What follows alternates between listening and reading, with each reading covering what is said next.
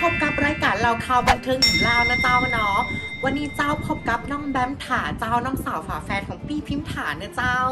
วันนี้ก็จะมาอู้เรื่องราวของปีพิมพ์ถาเจ้า หลังจากที่เปิดเนาะฟ้าฝืนคำสั่งของคณะกรรมการโรคติดต่อจังหวัดเชียงใหม่เจ้า ปีพิมพ์ถาเนี่ยเป็นลูกมาจากพื้นที่สีแดงเจ้า เปิดมาจากวัดเชียงใหม่แล้วเปิดมากักตัวเจ้า และสิ่งที่เปิดก็มาเป็นโควิดที่เชียงใหม่เจ้า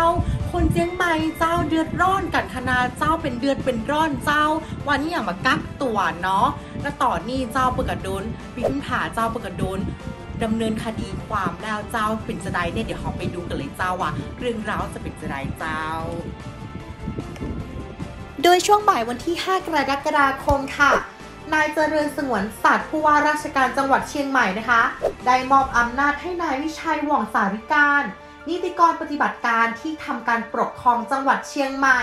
เข้าแจ้งความต่อพนักงานสอบสวนพลตำรวจโทอดุลสายสมรองผู้กำกับสพภูพิงจังหวัดเชียงใหม่ค่ะ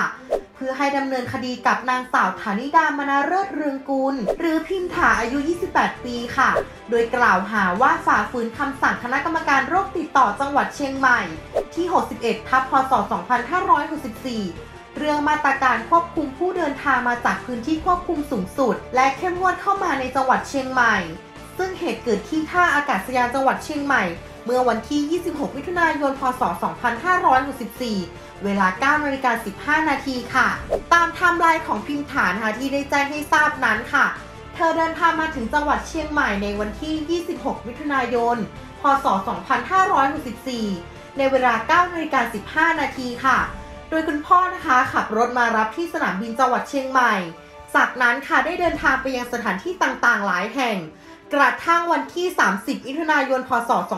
2564 นะคะ ได้เข้ารับการตรวจโควิด -19 ค่ะ ซึ่งผลออกมาว่าเป็นบวกนะคะ และเข้ารับการรักษาที่โรงพยาบาลเอกชนแห่งหนึ่งในจังหวัดเชียงใหม่ทำให้ชาวเชียงใหม่นะคะ รวมทั้งในสื่อออนไลน์ค่ะ ต่างวิจารณ์กันอย่างมากนะคะ ถึงเน็ตไอดอลสาว ที่ไม่ยอมกักตัวเฝ้าดูอาการตามมาตรการค่ะจนกระทั่งพบว่าติดโควิด -19 นะคะ หลังจากนั้นนะคะชาวเน็ตพากันถล่มพิมพ์ถ่ายยับเลยทีเดียวค่ะ เพราะว่าพิมพ์ถ่ายนะคะรู้อยู่แก่ใจว่ามาจากพื้นที่สีแดง แต่กลับมาจังหวัดเชียงใหม่แถมไม่ยอมกักตัวนะคะ และยังตะเวนไปอีกหลายที่ ถึงแม้ว่าเจ้าตัวค่ะจะออกมาขอโทษแล้วก็สำนึกผิดไปในอินสตาแกรมส่วนตัวแล้วนะคะ แต่เหมือนว่าชาวเน็ตค่ะยังจะไม่ให้อภัย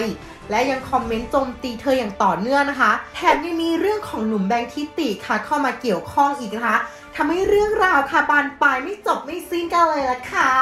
เจ้าครบเวลาของรายการเล่าข่าวบันเทิงแล้วเนาะเจอกันใหม่เจ้าป๊ะกันใหม่เนาะทุกวันจันทร์ถึงวันศุกร์เจ้าเวลาหนึ่งทุ่มตรงเนาะเข้ามาอู้เข้ามาจอยกันได้เนาะเจ้าเนาะตีช่อง YouTube เจ้ามาดามชาแนลแล้วเจ้าเนาะแล้วก็ Facebook เจ้ามาดามเมาเจ้าแต่วันนี้นะเจ้าน้องแบมน้องแบมถานะเจ้าเนาะก็ต้องขอตัวลาไปก่อนนะเจ้าเนาะทรงผมงามกระเจ้าทรงผมนี่งามเนาะไปละเจ้า สวัสดีเจ้า